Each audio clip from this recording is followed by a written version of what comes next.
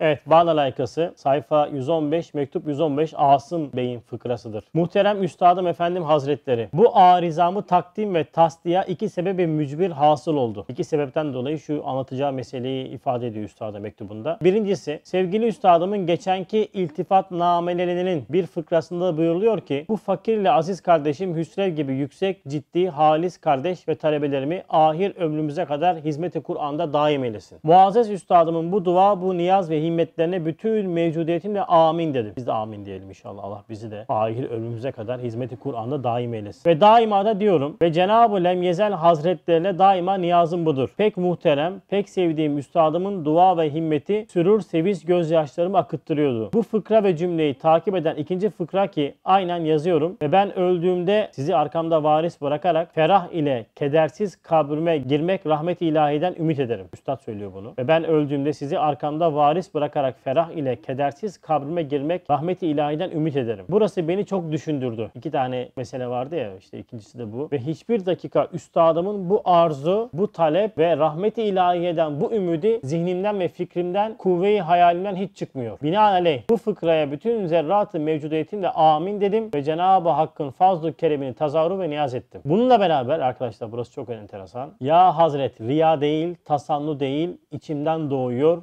Gönül şöyle istiyor ve arzu ediyor. Bu fakir üstadından evvel kabre girsin ve siz Dar-ı Beka'nın ilk kapısına gelinceye kadar Dar-ı Dünya'da bulununuz ki bu fakir ve muhtaç olan talebenize arkasından göndereceğiniz dua ve hediyenizle mütenaim, şad ve mesrur olsun. Daha hayattayken riya değil, tasannu değil. İçinden geldi. Böyle şekilde dua ediyorum diyor. Yani ben sizden önce öleyim, vefat edeyim. Siz de ta Dar-ı Beka'nın ilk kapısına gelinceye kadar bana dua edin. Ve sizin teşrifinizde ki Erhamur Rahim olan Rabbil Aleminden dua ve niyazım budur. Ruhum sizi istikbal etmek şerefiyle müşerref olabilmek gibi gönül arzu ve hayatı hasıl oluyor. Haşiye. Hakikaten merhumun münacatı karin icabet olmuş ki aynı yıl içinde, aynı yıl içinde üstadına bedel mahkemede üstadına zarar gelmemek için Ya Rabbi canımı al. La ilahe illallah diyerek mahkemede vefat edip dar beka etmiştir. Rahmetullah aleyh rahmeten vasiyeten. Bununla ilgili dersimiz vardı bizim Asım abinin hayatını anlatırken.